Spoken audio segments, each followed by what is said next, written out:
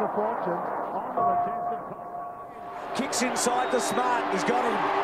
The Crows are full running. That was the last kick of the game. This one. So this is Which- part of panoramic Were you feeling confident? photo. Just after he kicked it. Were you feeling confident? I wasn't feel I wasn't feeling actually confident because right at the end of the game, your legs are kind of gone and you don't know whether you're going to make the distance or not. But um, just trying to chew down the clock. What's was going for your mind, Robsy, right there?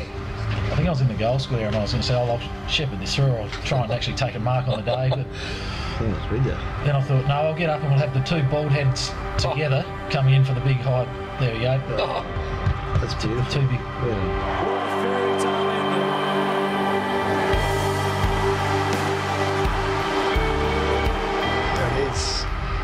Watch Matty Connell get crushed under the bottom of the pack here.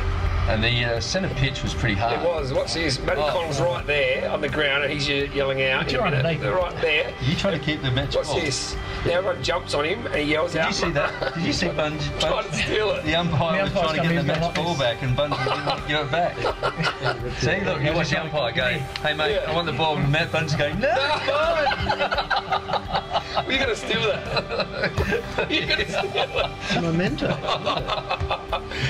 about the, what about this one? What were they One of them check- trip over. get Yeah, checked Derek at the- slips in, right? If he does his ankle again. They were actually having a race.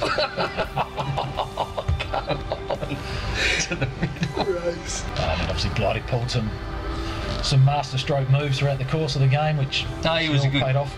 Blighty was a good coach. Yeah, That So- snake. Was that snake there? yeah, yeah. Brett Chalmers out there. And he's, then- that's a, look at his jumper. What's that? Can you shut Thanks, up? Willie Can you, can you shut up for two seconds? Look at his jumper. You talk so much crap. Look at his jumper. Look at his jumper. What's wrong with his jumper? Produced by AFC Media.